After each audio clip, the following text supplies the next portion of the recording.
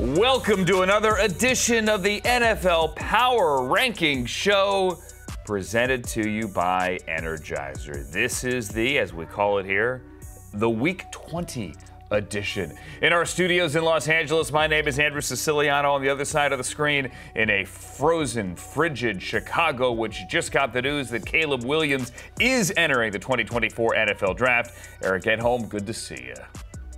Good to see you too. This is the pound for pound, the best round, right? Uh, don't we agree? The divisional round? Yeah, I think so. Yeah. Um, after watching a super wild card round that saw the average margin of victory sit at 17.3. And that includes, keep in mind, the fact that Sunday night in Detroit, it was a one point game. One point game. In- so, yeah, is that insane? Impactful games, like yes. games that had purpose, but not exactly the tightest ones. I think this round will be a little better, but yes, it is very much insane. All right, as always, Eric has done the rankings and they're on NFL.com. You can get to them immediately by scanning the QR code right there on the screen. Kids, don't get too close to the television. Your grandmother will get mad at you.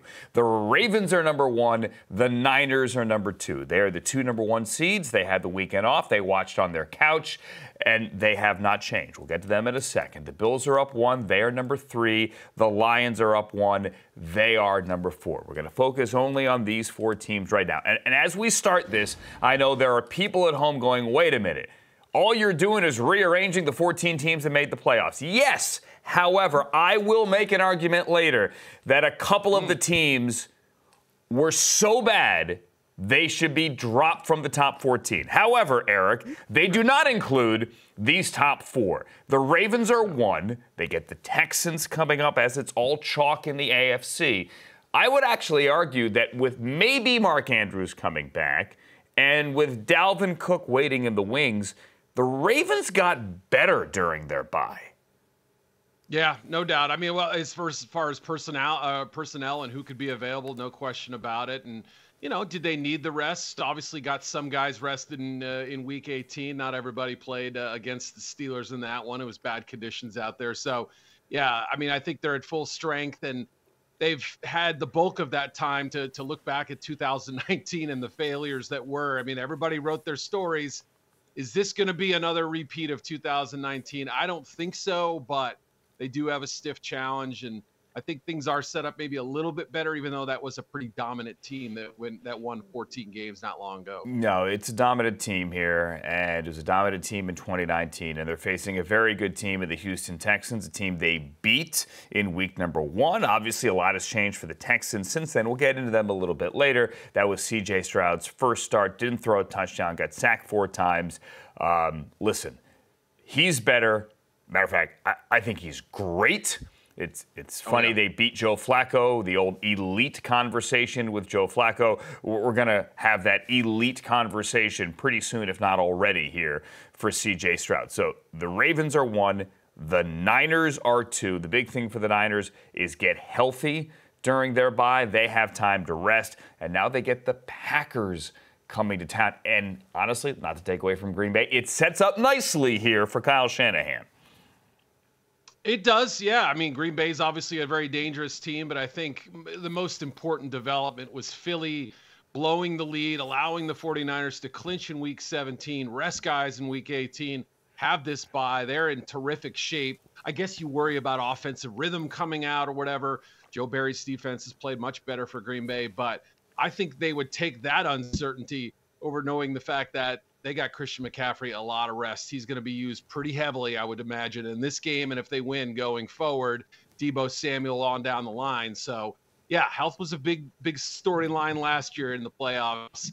They're determined not to make it one, I think, this year. And yeah, other than the Baltimore game, they look pretty darn good down the stretch. Look, they have to be happy sitting here watching at home and getting healthy. The Cowboys are out, the Eagles are out. I know they beat them both and beat them both handily, but the Rams are out as well. And while Kyle has owned Sean of late the last four or five years in the regular season, obviously in the postseason, Rams beat him a couple of years ago in the NFC Championship game. To me, those were possibly, all due respect to the Lions, their three biggest threats. Eric, those three threats are gone.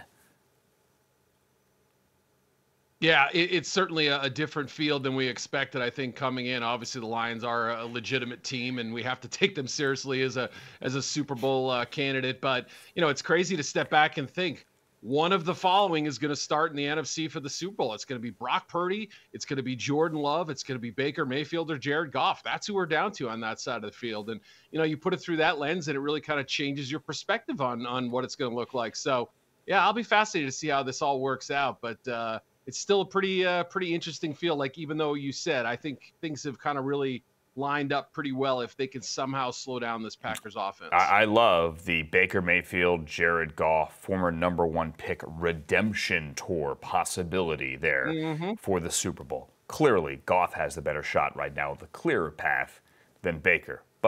Whatever. All right, let's get to the Bills. They're your new number three team, Eric. They are up one in the Week 20, the divisional round power rankings. Josh Allen uh, did what they needed him to do be Superman, but without the kryptonite. He didn't turn the ball over. He, he rushed for this 52 yard touchdown. By the way, we agree. That was not a fake slide, that was a pitter patter of the feet, guys. That was not. Do we agree that was not a fake slide, Eric? I didn't even know people were arguing that. Steelers no, fans are angry. The Steelers oh. drafted the guy who whose fake slide in college football changed the rules and then he bragged about it. Anyway, I digress here. It wasn't a fake slide. Josh Allen now gets Mahomes at home.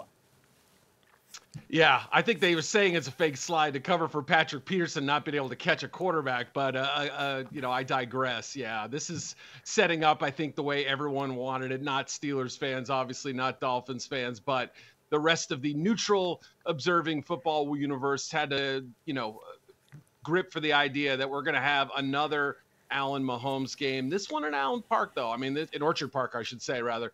It and could be Allen Park. Pretty interesting. It could be Allen Park. Yeah. You're right. Yeah. I, it'll be Allen Park if he wins this game. And uh, the last time they met there, kind of a strange outing in 2020. I kind of throw that one out. The rest of them have been classics, and I, I expect nothing less. Allen's at the peak of his powers. We saw what Mahomes can do again last week. Bills defense, can they be healthy? Can they hold on? Are some of these injuries gonna gonna bite them in the end? I don't know. That's the big question I'm kind of eh, left with. The big one being Terrel Bernard, who was carted off with the ankle injury. He has played so well. And remember, no Matt Milano and no Tre'Davious White and no Jordan Phillips. The hits keep on coming for that Bills defense, but they get him at home. They get the Chiefs at home. Third time in four years they meet in the postseason, and first time a Mahomes is going to play a playoff game other than a Super Bowl, obviously outside of their building. When last they met, eh, eh, it's so crazy how things change down the stretch. When last these two teams met, Eric, you and I sat here and said this is the Bills' season and really the Bills' soul as they're constructed on the line. Right? They went to Arrowhead. That article had been written about Sean McDermott. You're like, this is it. They are on the brink. And then Kadarius yep. Toney lined up off sides. The Bills got their win, and it's been like a march towards Vegas since then. And I cannot wait for this one, the best divisional, uh, obviously the best weekend of the football year. All right. Let's celebrate the Lions here. You know, I work for the Rams. I wanted the Rams to win that game, but I'm happy for Jared Goff. As I said last week, I would be if they won. You got the fans crying. You got Brad Holmes yelling in an elevator. The Lions are up one spot. They are four this week in the power rankings. Yeah, I mean, I some people may disagree. Some people feel like maybe they got a little lucky there. Obviously, the Rams had kind of turned the tide of that game. Everyone bracing for that that comeback victory, that fourth quarter victory that Stafford pulled off a lot of times in Detroit. But Jared Goff completes the biggest pass in his in his career. Not the the toughest, not the prettiest, but the, the most important pass of his career hadn't completed one or almost a quarter at that point. So after the hot start, he really needed to finish that game off. He did. What a moment for him, right? And what a, just what a relief I think for the Detroit Lions fans who, you know, braced for this utter, you know, heartrending disappointment. It didn't happen, and now they they're favorites in this game coming up. Second straight home playoff game, unheard of time. First of all, the state of Michigan, right? With yeah. the Wolverines, Harbaugh, and this, it is on fire right now in the football world. So I can't imagine what's going to go down this weekend, but they have to feel like, okay, now we're the hunted, right? I can understand a lot of people picking the Rams, but they have to feel like they have need to take care of business in this game and not let the emotions kind of uh, kind of ruin the day. You see that uh, hug there, that embrace between Goff and Stafford at the end of the game. I, I recommend Inside the NFL or check out the NFL Films Twitter yeah. page here. It's a great moment in which Stafford tells Goff, hey, go win this thing. I'm happy for you. And then Jared, a couple of seconds later, after they had walked away, Jared circles back and says basically, you're one of the toughest you know what's I've ever seen. Like legendary toughness here, like respect, because Matthew Stafford, that should have been a flag, by the way, for roughing there, um, got up at the end and his hand was banged up and he was banged up and he kept on slinging it. And uh, he is a warrior, a, a, football warrior, obviously. Not a real warrior, but you know what I'm saying here. So the Lions are number four. We'll get to the Rams a little bit later. We'll get to the Texans as well. How about the Packers? Where do they land? Should the Eagles even be in these rankings? That's coming up on the mm. NFL Power Ranking Show presented by Energizer.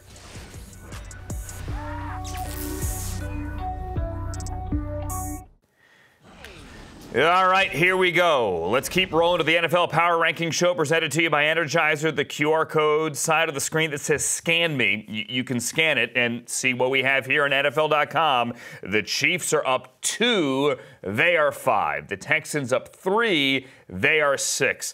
Look at the Packers up six, they are seven. The Cowboys plummet. Are they really a top 10 team? Uh, they are eight and the Buccaneers are up three. They are nine. Think about this, and we will later. The Bucks are behind the Cowboys. The Bucks are playing next weekend. The Cowboys are not. All right, at home, the Chiefs are five. I think a lot yeah. of teams prove their critics right this weekend. I think the Chiefs, though, might be the only team that truly proved their critics wrong. They look fine. Yeah, I thought they did. Right. I mean, they they were prepared for the environment. Obviously, Miami wasn't. Um, you know, it was sort of a, a you know, start to finish, really solid performance. I mean, Mahomes played well, dealt with some of the early drops, got Kelsey going eventually. You know, it, it just sort of felt like they were they were very well prepared for this game, understanding that there was criticism about their game, understanding and knowing that people weren't going to be picking them to win the Super Bowl and that they probably have to go on the road the following week. That was just the reality of it. And they took care of business because they've been in this situation so many times. Will that carry over?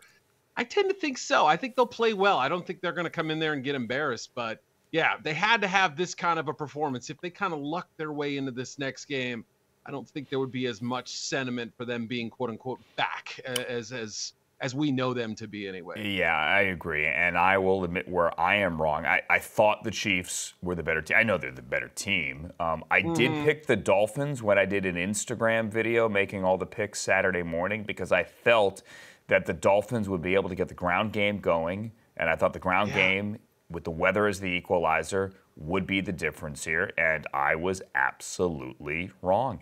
Taylor Swift is a great chair dancer. The environment was was all Kansas City, and the yeah. the Dolphins just shriveled up. And you know the Dolphins are another one of these teams that can run run up the score in September, but can't do it in January. We see it again. Last year was Skylar Thompson. I realize. Okay, this year was Tua and they couldn't do it. I, I know they have the defensive yep. injuries, but the offense didn't show up. You had a 50-yard touchdown on an underthrown ball with a DPI. I mean, that's your only positive offensive play. All right, I digress. Let's get to the sixth seed.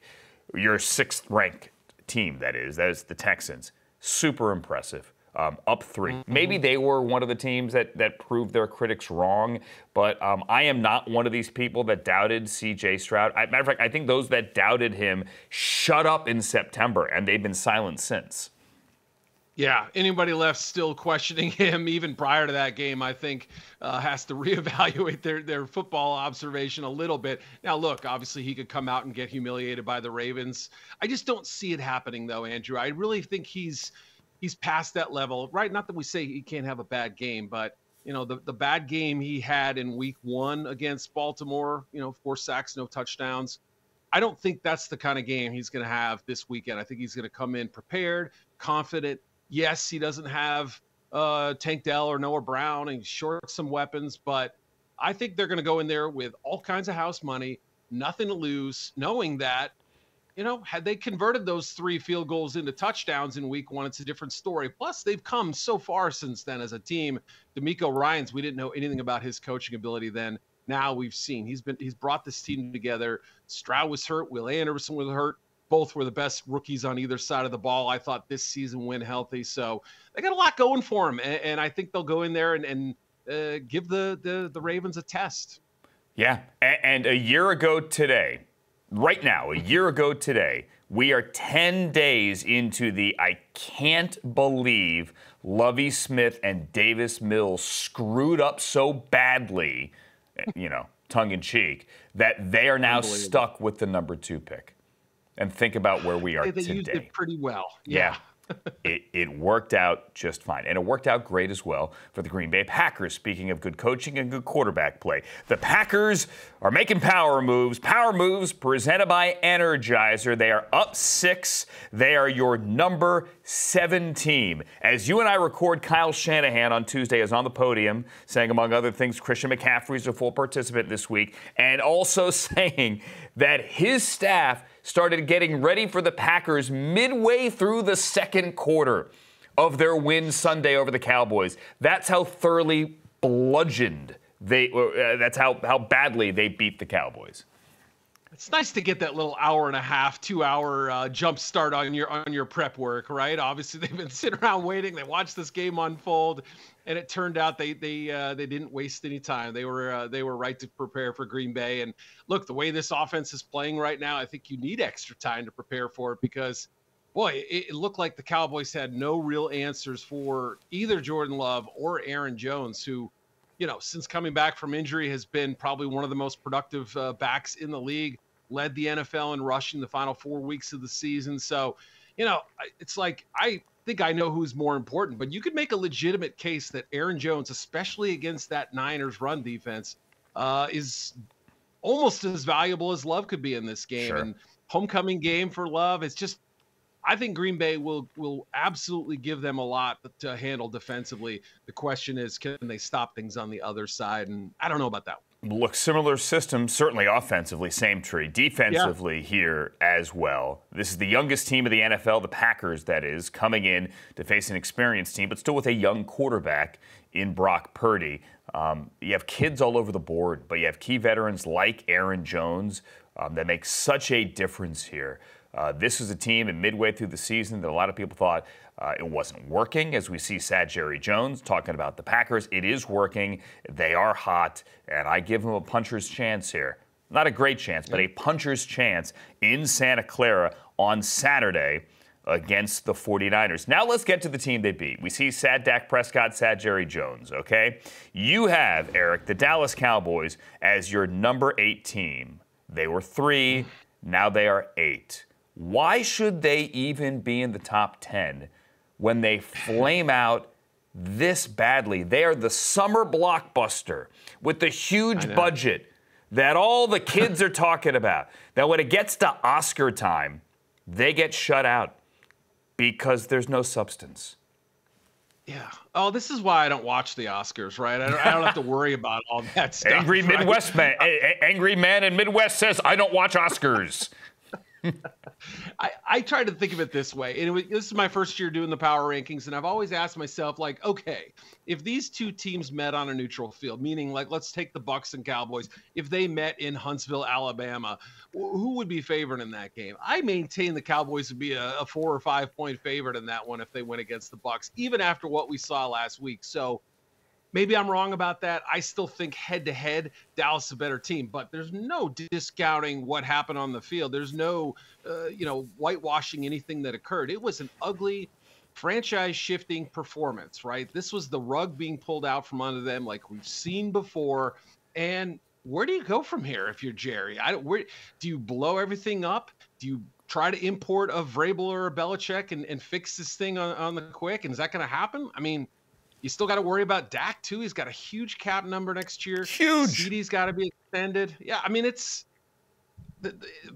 I don't want to say it was Super Bowl or bust, but it certainly feels like that now talking about them. Yeah, yeah. Dak's cap number is like 55 something near 60 yeah. million. They got to do something, so likely you have to commit to paying him another 150 million dollars guaranteed.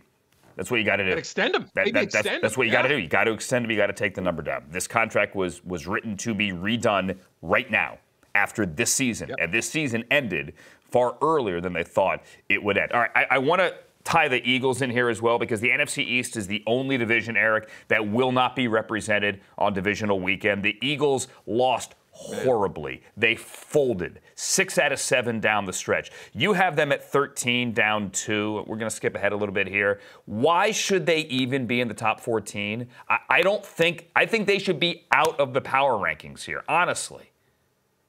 If there was a Buffalo Bills like team, remember the Bills went into week 18. We didn't know if they were going to make the playoffs. Obviously they are now, but if there was that kind of a team that missed out where where we were saying, boy, had they gotten in, they would have been a handful.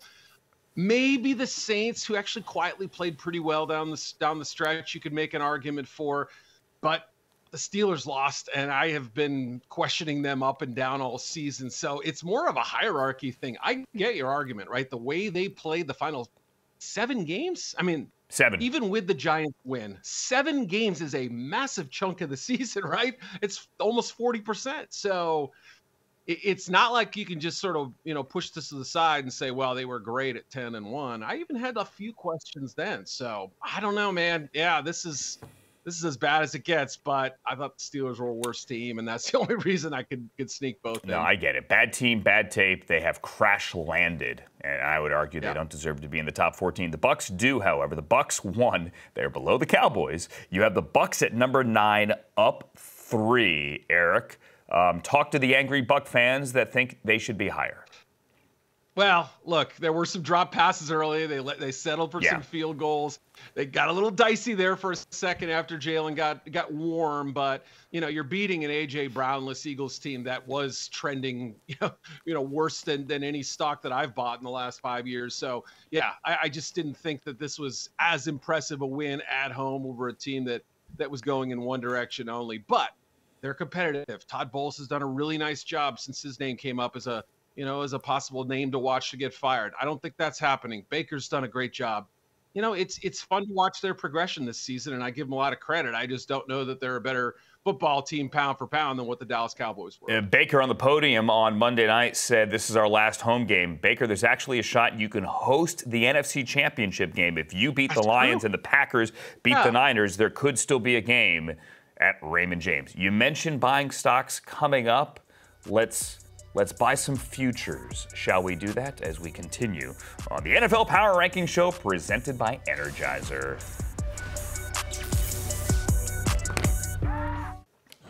It's the NFL Power Ranking Show presented by Energizer as we show you teams 10 through 14. The Rams, the Browns, the Dolphins, and then the two teams from the Commonwealth of Pennsylvania. The Eagles at 13 and the Steelers at 14. Time to invest in the future, presented by Fidelity. Eric at home. Why are you buying the Rams? I'm with you, by the way, but you tell me. Yeah, I mean, I think the emergence of, of Puka certainly this season. Yep. I mean, incredible rookie year. Kyren Williams showing he can be a lead back, repairing that offensive line. And look, I don't know how long they've got left in Matthew Stafford, but when he was healthy, when he was on the field, as you pointed out several times throughout the season, he was great. So, you know, you squeeze a little more out of Cooper Kupp, you add pieces of that defense. I, I think there's an interesting future. Plus, you revived Sean McVay. I mean, he admitted in the post game, mm-hmm. uh, you know, press conference, he found his way again, and you know that's that's a, an important piece of that whole puzzle. I don't know what Aaron Donald does, but I like their future. Yeah, and they might lose Raheem Morris. I hope they do. By the way, eh, on, yes. on a personal yep. level, I hope he gets another shot at, at being a head coach because he deserves another shot. But the future truly is bright for this team, and I think it's bright as well for the Browns. Granted, they need to get the Deshaun Watson, Eric, that we saw that went 14 for 14 to the perfect passer rating with a broken shoulder to beat the Ravens on the road.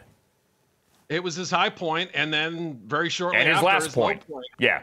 Yeah, he, he mic drop, I guess, but all eyes clearly on him this offseason. Now they get back an amazing amount of talent, all the guys who got hurt throughout the season, but we'll see what happens with the coaching staff. Any changes there? Does Flacco come back as a number two? I mean, no. all options, I guess, would be on the table. I would love to see it, but yeah, this is this is going to be very very interesting team to watch. They have the pieces. Can they put it all together and find that magic one more time? Not always easy. No, and when I say no, that that's not saying I wouldn't want to see that. I just don't think it is feasible so nor likely. Regardless, what is feasible and likely is that we are back to do this again after divisional weekend. All right, so we'll see you next week on the NFL Power Ranking Show presented by Energizer. For Eric, I'm Andrew. So long.